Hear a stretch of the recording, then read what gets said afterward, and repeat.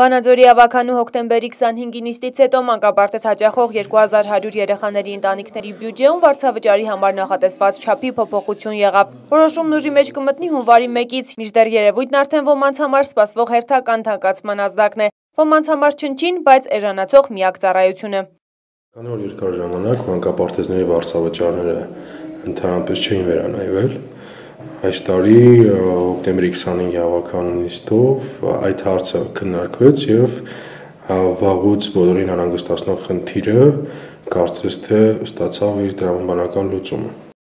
Այսպիսով տնական 4 մանկապարտեզների համար սահմանվել է նախկին 3000-ի փոխարեն 4000, իսկ մնացած 16 շենքային պայմաններով ապահովված մանկապարտեզների համար 5000 դրամ սակագին 5500-ի կամ 6000-ի փոխարեն։ Արժեքների փոփոխություններն իրենց ազդեցությունը ցույց կտան, ասում է Վանաձորի քաղաքապետարանի մշակույթի, կրթության եւ երիտասարդության հարցերի բաժնի պետը։ Սակայն քայլեր կձեռնարկվեն դրանք մեղմելու եւ մատուցվող ծառայությունները արժեքին համապատասխանեցնելու ուղղությամբ։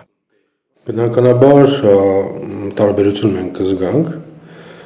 քանի որ չի կարելի մանկապարտեզի գինը բարձրացնել եւ տարբերություն չնկատել ասեմ, որ կար նաև ավելի բարձր գին սահմանելով առաջարկներ, բայց հավականին կանգ առավ այդ երկու տարբերակի վրա։ Թեև վարձավճարի բարձրացումը պատճառաբանվում է որպես հետևանք այլ իրերի եւ սննդի գնաճի եւ 3000 դրամով հնարավոր չի ապահովել երեխաների ուսումնառության եւ կեցության լավ պայմաններ, այնուամենայնիվ չեն կարող բացառել, որ սակագնի փոփոխությունը բացասական ազդեցություն կունենա սոցիալապես անապահով ընտանիքների եւ երեխաների այդ հաստատություններ հաճախելիության վրա։ Մենք անում ենք ամեն ինչ, որպեսզի մանկապարտեզ չփակվի, այլ ընդհակառակը տնական մանկապարտեզները վերջի վերջո ձեռք բերեն շենք, համապատասխան պայմաններ, որպեսզի այլևս մենք այդ տերմինը չօգտագործենք եւ չդասակարգենք տնական եւ ոչ տնական։ Հաշվի առնելով այն փաստը, որ ավականին որոշումը կայացրել է 14 անդամների քվեարկությամբ, առաջիկայում այս հարցի շուրջ այլ քննարկումներ չեն սպասվում։ Հերմինե Յավրյան, Արեն Ավակյան, Մոլորակ։